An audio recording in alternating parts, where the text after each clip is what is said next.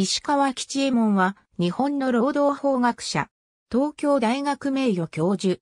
1919年、千葉県木更津市で生まれる。1937年、東京府立第四中学校卒業。1940年、第一高等学校卒業。1943年、東京帝国大学法学部卒業。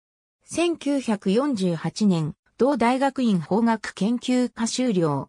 東京大学法学部助教授。1962年、東京大学法学部教授。1977年、東京大学教養学部教授を務め、1980年、東京大学定年退官し、同大学名誉教授。千葉大学人文学部教授。1985年、東海大学法学部教授。1992年、東海大学退職。労働法の権威と呼ばれた。労働行政の場においても、公共企業体等労働委員会会長や中央労働委員会会長を歴任するなど活躍。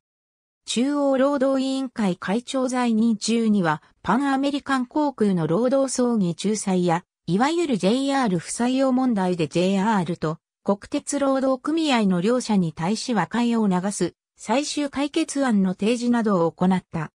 このほか、司法試験交際委員、中央労働基準審議会会長、中央労働委員会委員などを歴任し、1978年蘭寿、交渉、1991年君一等随法賞を受賞した。ありがとうございます。